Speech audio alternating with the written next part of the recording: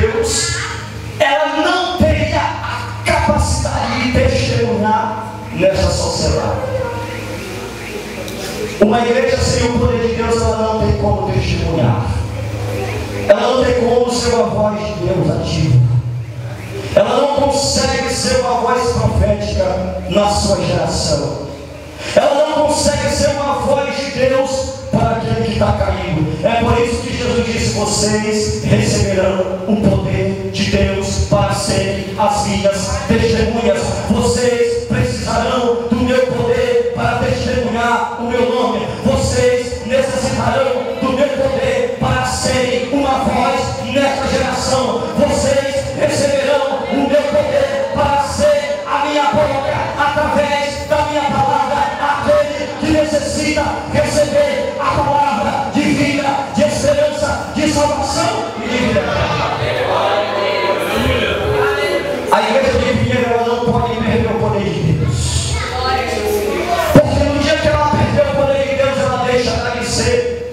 testemunha. Irmão, o que é que acontece quando a igreja deixa de ser uma testemunha? Ela perde o seu foco. Quando a igreja de Cristo ela perde o seu foco, ela deixa de ser testemunhas. Irmãos, nos últimos tempos, Deus ele tem feito coisas na vida de pessoas tão simples,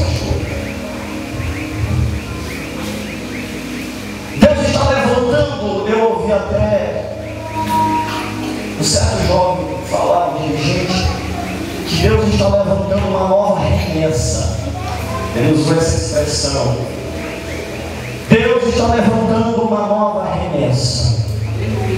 Por que, que Deus está levantando uma nova remessa?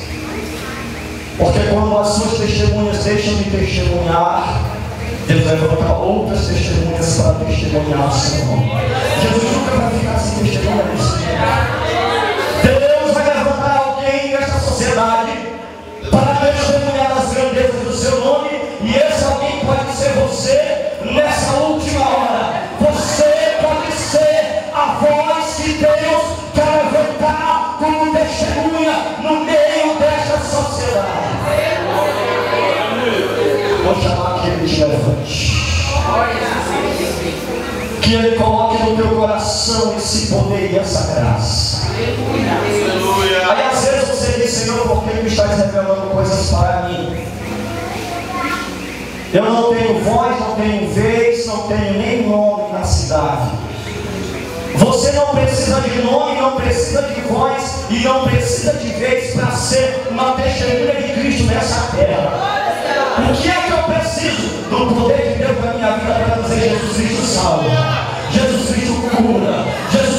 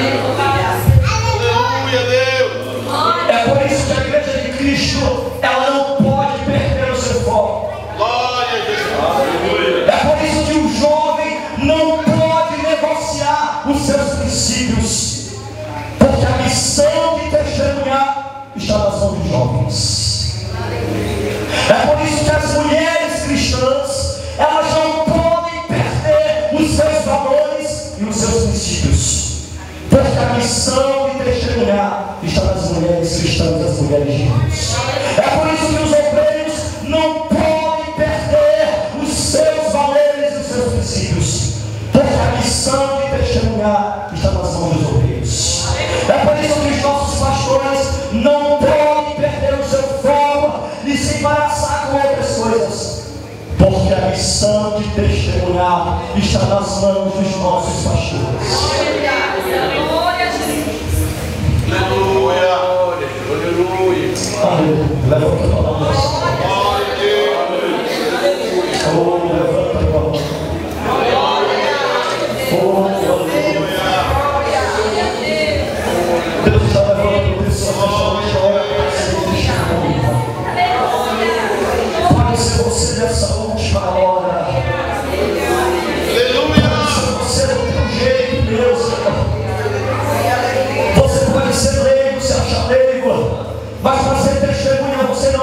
precisa ser o mais intelectual da tua casa, da tua cidade ou do teu bairro. Só precisa ter a chama ardendo dentro do teu coração. É, você mesmo que Deus vai levantar.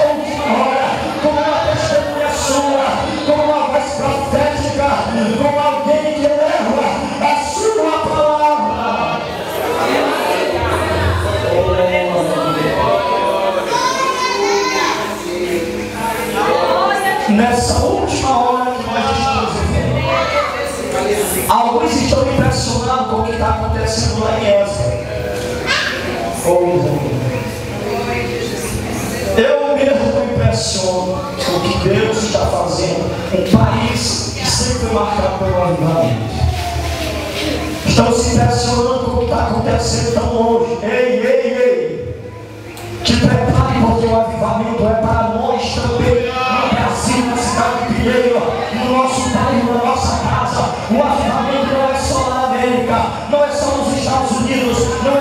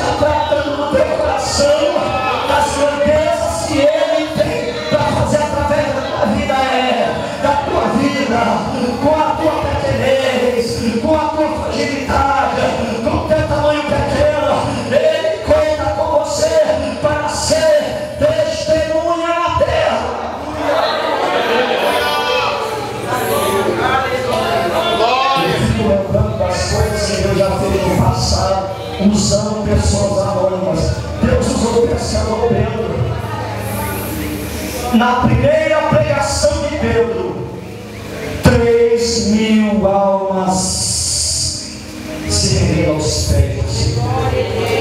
Sabe quem é que faz isso? É Deus na vida de quem decide ser uma testemunha. Irmão, eu não consigo nem pregar. Você já decidiu ser uma testemunha já. Então te prepara, porque Deus vai começar a te usar na pregação. Irmão, ninguém passa a ser uma testemunha, porque a glória do Senhor irá resplandecer na tua vida. A partir de então, Cristo nos chamou para ser testemunha, e para isso Ele nos encheu da sua graça, do seu poder da sua glória.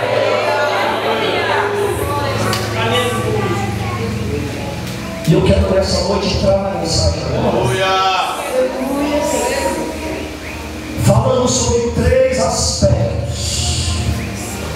Eu começo a mensagem agora e não vou passar a orar. Três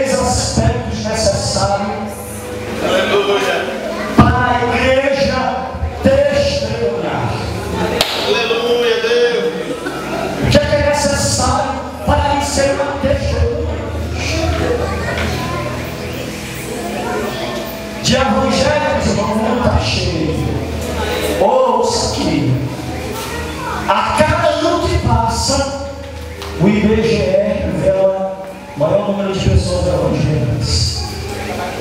Glória a Deus por isso. Mas a pergunta que eu faço para mim e para você é: e o número de testemunhas tem aumentado também ou tem diminuído? A testemunha é aquela que fica quando todos vão embora. A testemunha é aquela que ela é decisória para uma decisão judicial. Tem decisões que só serão tomadas pelo juiz por causa dos testemunhos. Jesus estava dizendo: vocês receberão o meu poder para evidenciar quem eu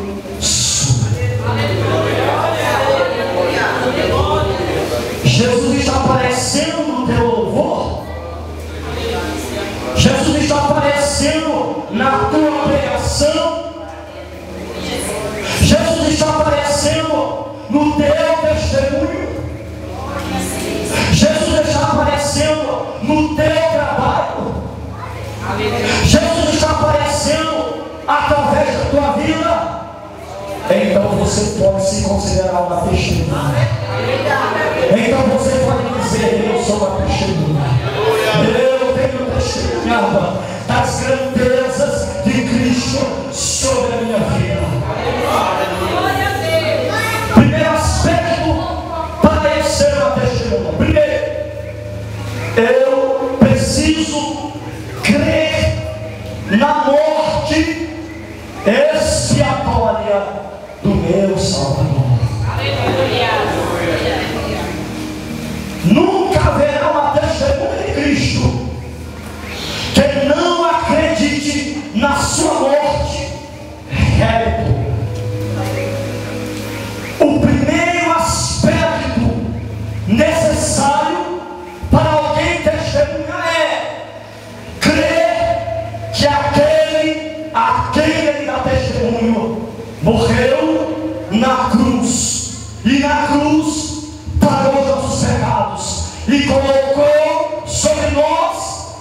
sua justiça.